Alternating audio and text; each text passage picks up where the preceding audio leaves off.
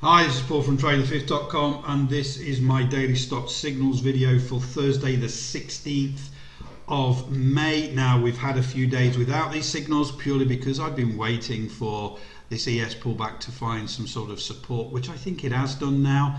Uh, so uh, that has been reflected in a lot of these potential uh, growth stocks at the moment uh, where we've had that pullback in line with the ES and that's presented a lot of wave 4 pullbacks so I just want to go through one today. So I'm using our Elliott Wave indicator suite for the ThinkorSwim platform. It's all of, also available for MT4 NinjaTrader TradeStation and MultiCharts now. Uh, so you can see here uh, we've had a nice bullish run on FAF on the daily time frame First American.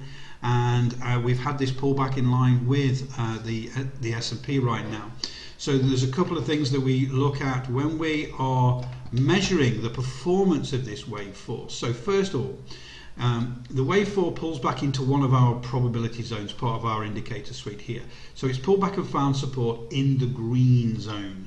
Uh, that represents an 85% probability. It's going to go on and make a new wave 5 high into our automated target zone up here around about 59.70 in the middle of that target zone there.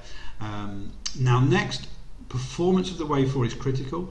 One of the things we look at is our Elliott wave oscillator. This oscillator has to pull back between 90 and 140% on this wave 4. It has done. If you if we really zoom in there yesterday, you can see it just went slightly negative through zero. So we're between uh, that zone if you like. The next thing is our false breakout stochastic. When we get a strong bullish trend, we get these false breakout dots on the top here in the overbought zone.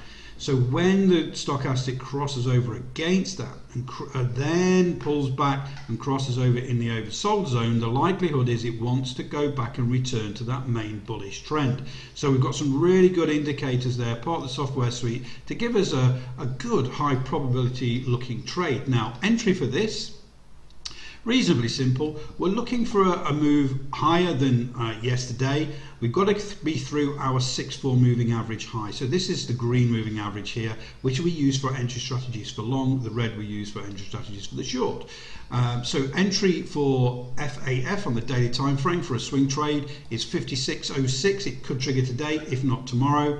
Uh, 53.95 is the stop loss, which is below the wave 4 pivot there. And our target is in our automated target zone around about uh, 59.62 is in the middle there. So that's a risk to reward of 1 to 1.6 so great looking trade very simple to work out here whether you're swing trading a stock like this off a daily time frame or day trading futures or stocks off a five minute time frame. These set up exactly the same. So that's it for today. Have a great trading day. Speak to you all tomorrow